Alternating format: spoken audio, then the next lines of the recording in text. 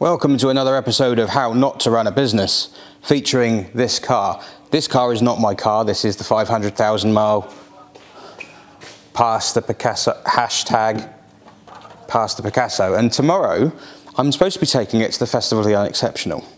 Um, the other day, I had an opportunity to do some work on it, and uh, instead of doing that work, I put it on the rolling road to make a point um, to Ian Hubnut, and I successfully made that point.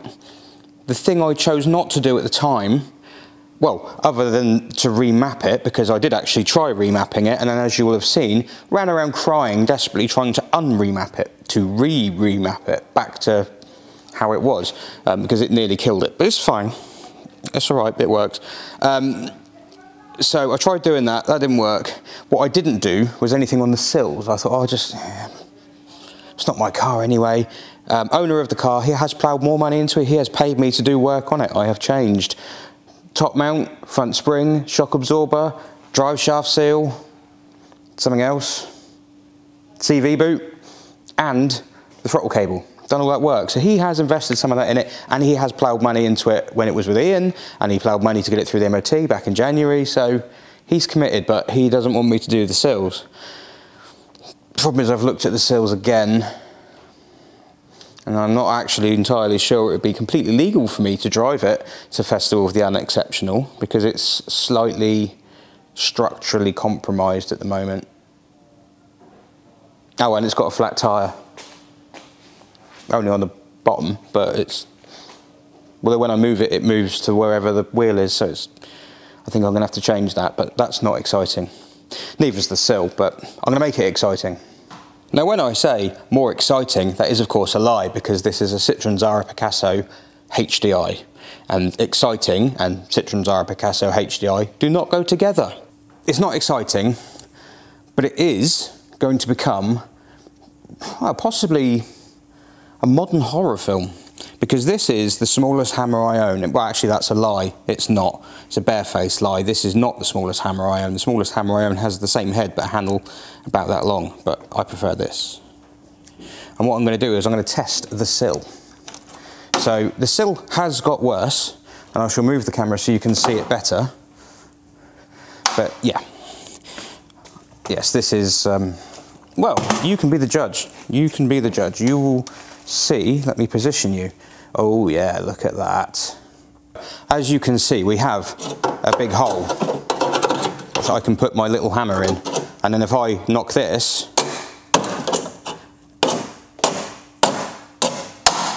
this is an MOT repair patch that has been welded on very badly on top of rot that was already there. I don't know when this was done. I have a horrible feeling, probably not that long ago.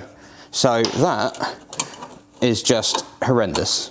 That is just, that is everything that's wrong with MOTs. You can just weld a patch over a hole. The hole is still there, the rot is still there. And as you can see inside, the rot has continued. This is the, well, technically the floor. This is a strengthener. And in there, the big hole that the hammer goes through is the inner sill. So basically this car has no sill. The bit of metal inside there is the side of the floor and I think the seatbelt was bolted to it. But so the rust goes like through here and then it goes down there and is it, is it there? Oh, it's there as well, that's good. Oh, there you go, then it goes stiff. So yeah.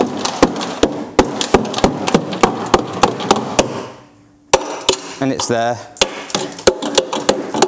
and it's there, and it's, yeah. I mean, it is dead, isn't it? If this is anyone else's car.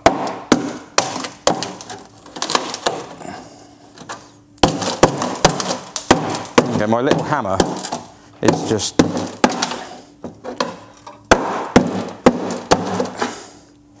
So basically everything here is knackered, which is a problem. It's a problem because I want to use this car tomorrow. There are bits of sponge in this. Look, in the rust. Because I washed this car. There are bits of sponge in the rust because I washed it. I washed it for Festival of the Unexceptional. In fact, this is one of the only cars I've ever had where it looks the same whether it's dirty or clean. Like it doesn't look any different at all. It was very dirty, but it looked exactly the same. So I want to use this car, but that's an issue.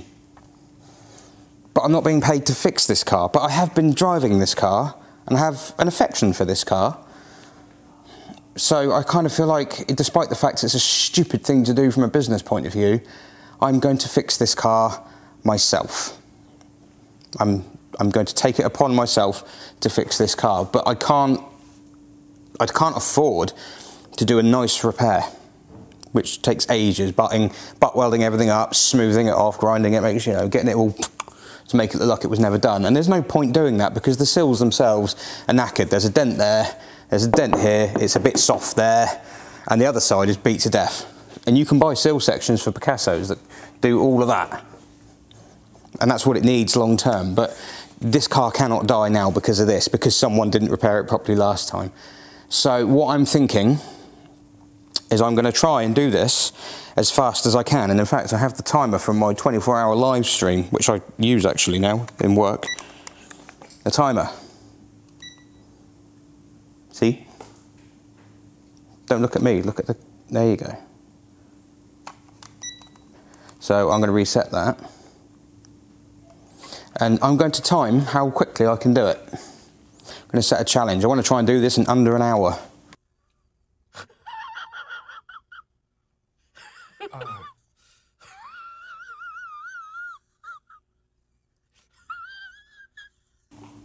a bit there, a bit there, a stiffener there, which is all sorts of funny shapes, and you can't really get to. I'm gonna have to cut the sill off back up to about here so I can actually get to it and then find some metal to make that out of.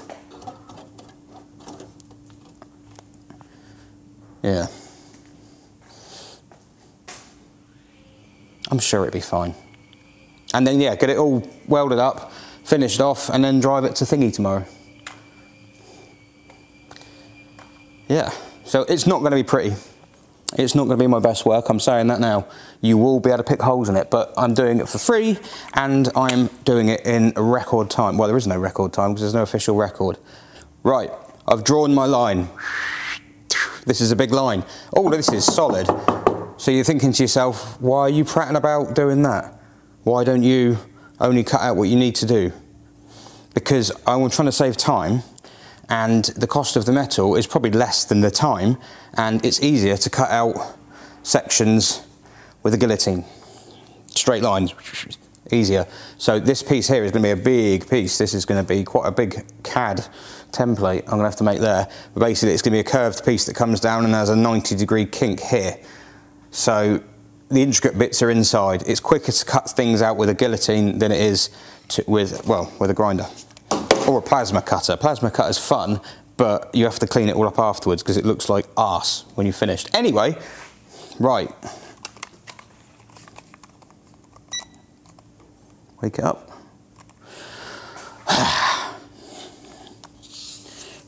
what time is it now? Half 12. Ready? Is it going? It's going. Let's go. No! Idiot! Plug it in.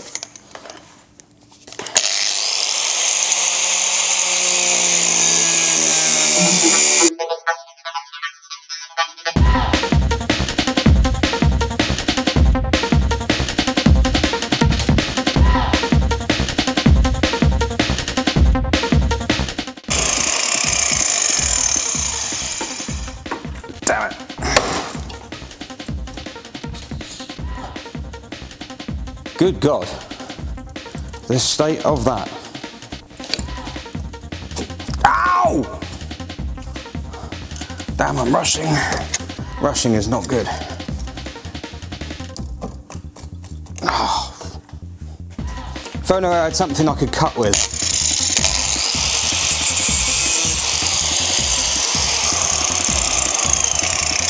That would make sense, wouldn't it? Bloody hell.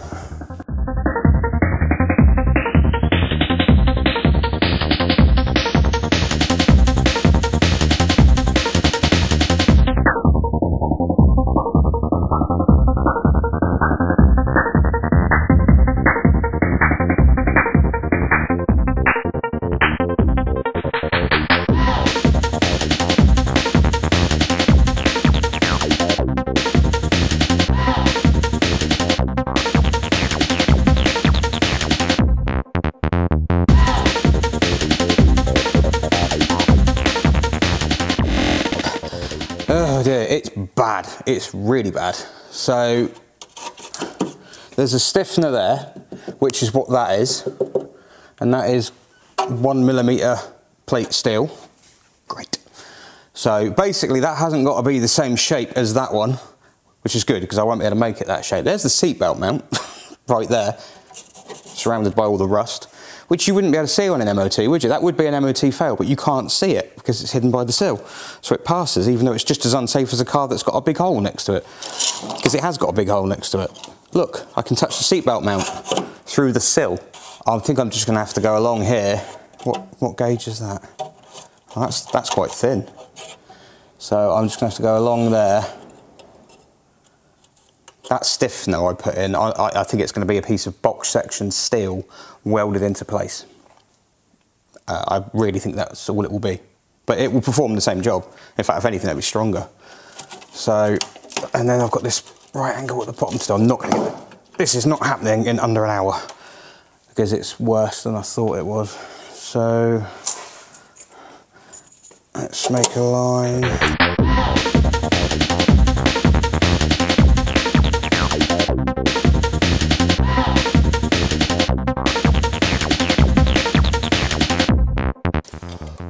Twenty-seven minutes and twenty-three seconds, and I still haven't cut all the rust out.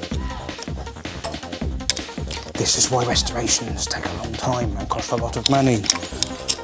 Well, they're cheap if you just put a plate over it, but if you do them properly, even quickly properly, they take ages. Let's go.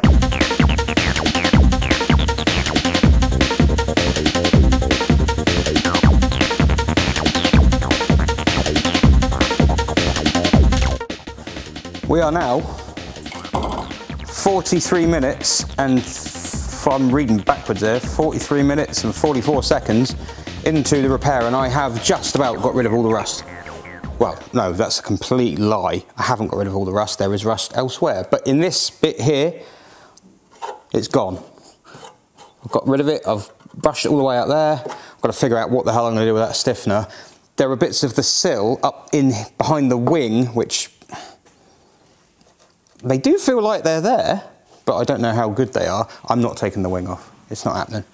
It's not an MOT fail because they can't see it. I mean, stupid, but that's the rule. Bit of anti-rust primer or weld through zinc primer. And then I need to start making templates. CAD.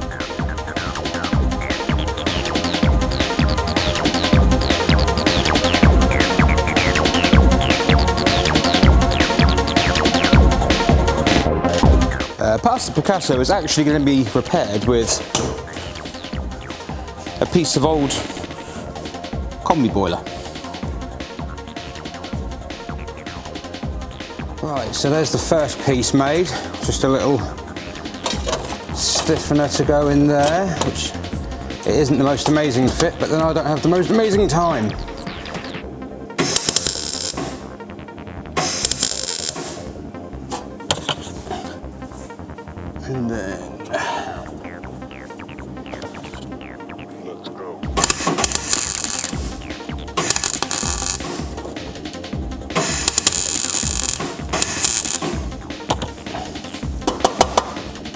I can weld that underneath. There'll be a seam along there, or stitches more likely.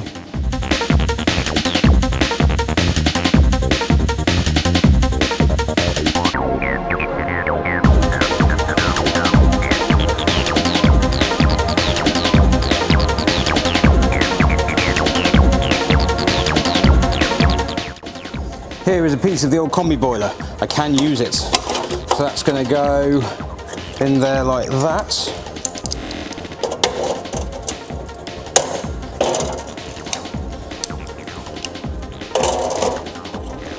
It's fine, it's all good. Nothing to worry about here. Nope, nope, that's gone.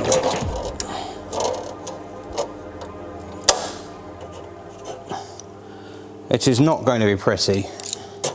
It really is not going to be pretty, but It hasn't got to be. It's just got to work and be safe and solid. And I'm pretty sure it'll be that. And it's coated on the back as well, so you know, extra uh, rust protection.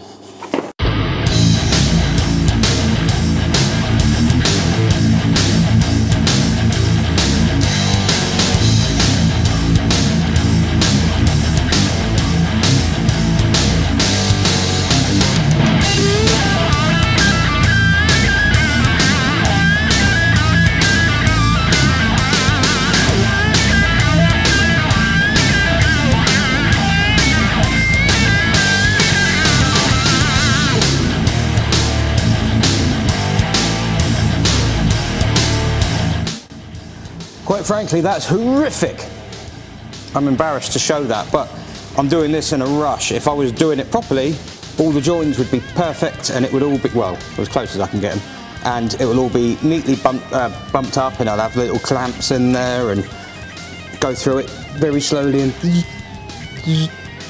but this I haven't got time because we are now on 93 minutes and 20 seconds. That is not good because I've got to be going home in uh, one and a half hours.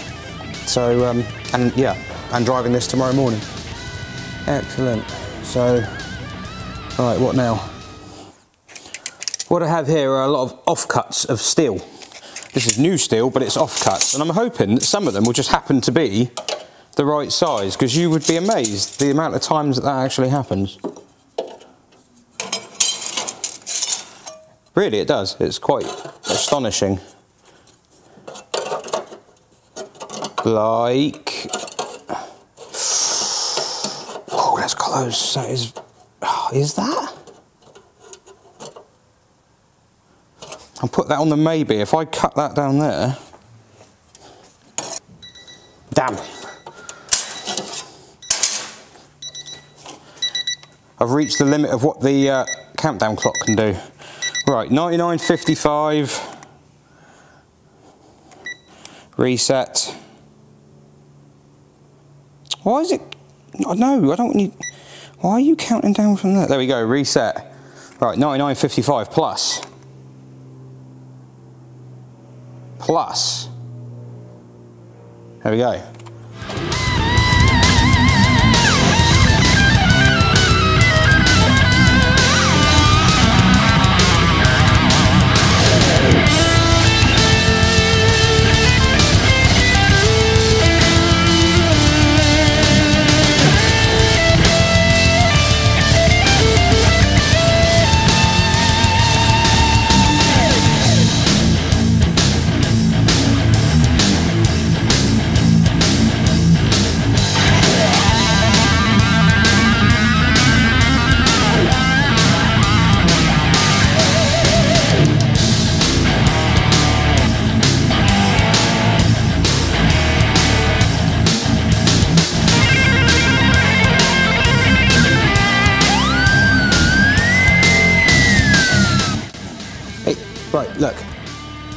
So we're clear, I can actually weld.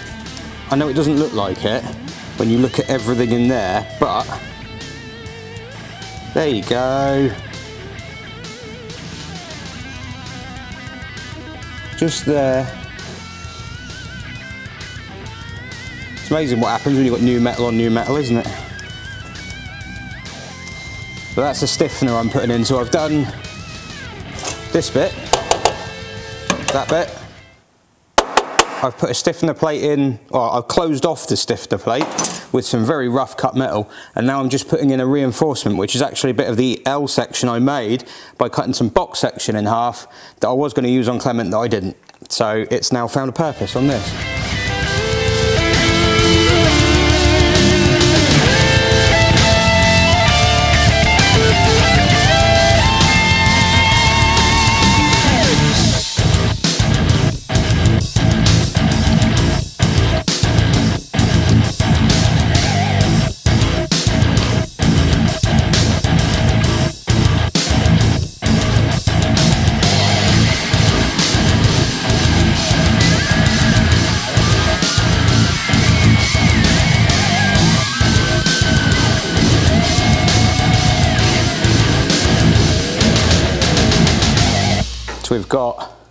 Keep you at a distance. I don't want you to see. Embarrassing. Starting to have more sympathy with the person who welded this before. Hmm. Hmm.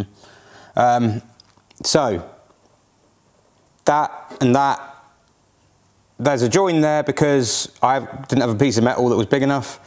I won't have a piece of metal big enough for the sill on the outside. That's the last bit I've got to do. And that is going to be rough shod because I'm running out of time, big time. And I may even have to lip over the top of this for now. Horrible as that may seem. So you've got this kind of infill bit that goes, that does the whole thing.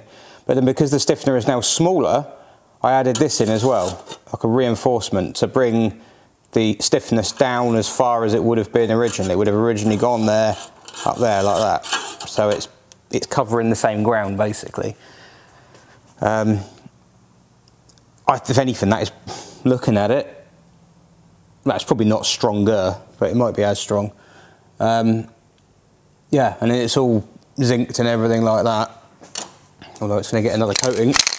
And it's going to have to deal with the fact that it's already hot because I don't have time for it not to be. Sorry, I know, I know, I know. You don't like this.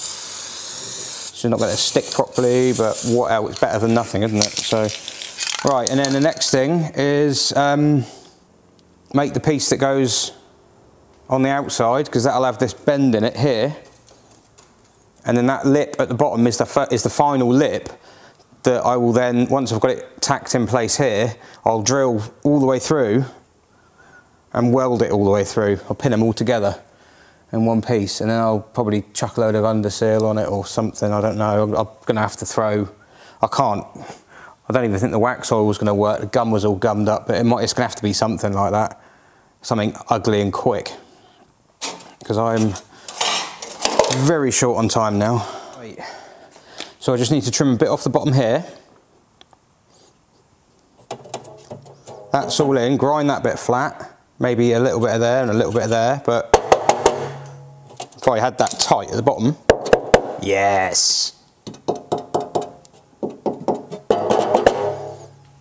So the last thing is to find a piece of metal that I can, I don't want to make it out of two pieces of metal. It's going to look stupid if I make a bend and then have a join in it because it's going to be all wobbly and just need a piece of metal that's 600 and, well, what's that? 665 mil. Yeah. Or 670 if we're being friendly. About 665. No, I haven't got anything. Got nothing.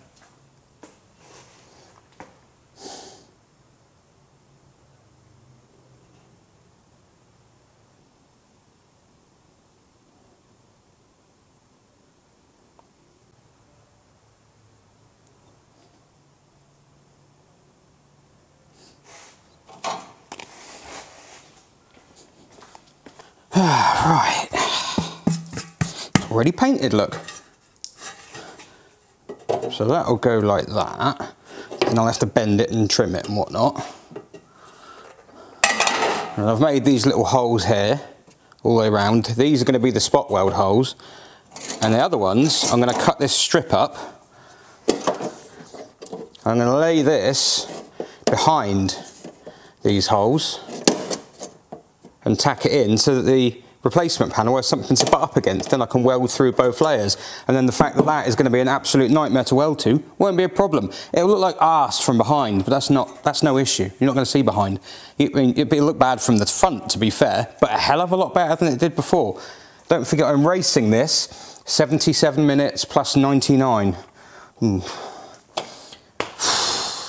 It's not a quick repair.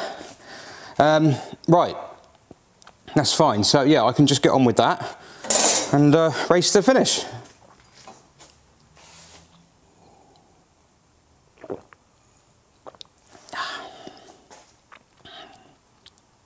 Bollocks.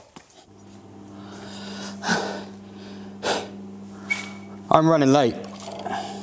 That's gone round the clock twice. That's done 99 minutes twice and now it's on 13.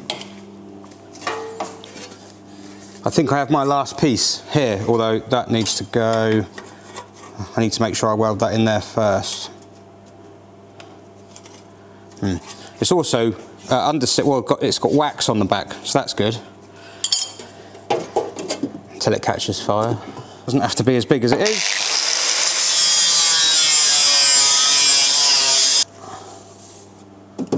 It's better than it was, isn't it? I could run a bead along it now and it's better than it was, so.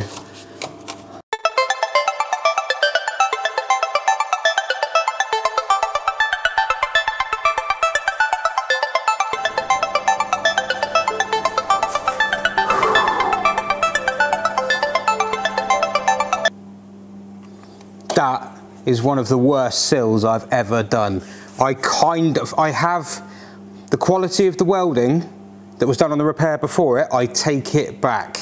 I withdraw my complaint. My, the whole patching over the top of it and then welding it, it going badly, and then just covering it in sealant.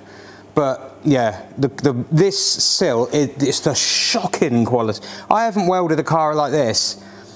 Sierra and an Alfa 75 were the two I've welded where it was like, oh my God, what is this made of? It, that is awful. It really is the cheapest, nastiest, globbiest bloody metal. And I wanted to leave, I wasn't even going to bother grinding it back. But I'm going to have to grind it back because look at it. Oh, I've got to. It's all twisted and distorted.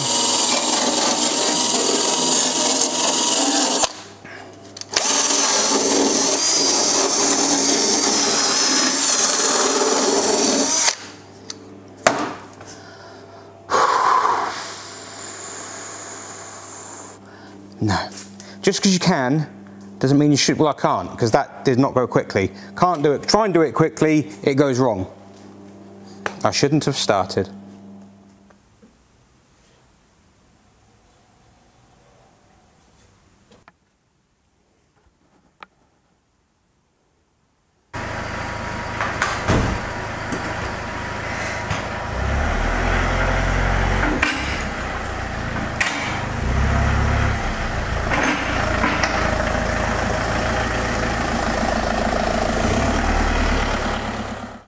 This thing on? Yes. Right, it's some days later, and I'm going to give a quick finish to the video I did about a week ago, uh, possibly just over a week ago. Fact, no, it was just, yes, it was one week and one day ago where that happened, and I'm trying to make sense of it a little bit. So, um, I tried to do all this, it does come off. I tried to do all this last minute, as you saw, and I reached a conclusion. Uh, trying to do things against the clock is a mug's game. I ain't doing it again. No because you rush everything. And because you rush everything, everything goes terribly. And to add to that, the quality of that steel along this, ooh, my taxi, um, the quality of that steel is pretty bad. So uh, it was really, really difficult to weld. And, then I was rushing it as well. And it wasn't like fine tuning the welder as I should have done. And I was, you know, blowing holes and everything and then trying to fill it back up. And it was stupid, stupid. It is solid, it is done, it's ugly. And what I'm going to do before this car goes on Saturday, yes, I'm recording this on a Thursday. Um, if I get my timings right, you'll see it on a Friday, but possibly you'll see it on a Saturday, who knows. But um, yeah, for the, uh, for the new guy who's going to take it, I'd quite like to get it looking a little better than that. The shape is there, the strength is there. Um, it just needs rubbing down, a little bit of titivation and protection. Um, but yeah, that's how it went to Festival of the Unexceptional. Um, I was there and uh, people sung happy birthday to me. Thank you if you did that. I'm really glad I wasn't near the stage when that happened, but I'm appreciating the thought. So uh, yeah, so you did see it, Past Picasso did make it, the sill is done-ish, and um, I will make it look a little bit better and send it on its way to its next owner, who I'm assuming isn't going to try and remap it. But before that happens, there is one more video coming and it's a big one. It's its hardest test yet. The biggest test this car will have in my possession. Have to wait and see what that is though, because, you know, content and clicks. Yes, that is a bit of BX door.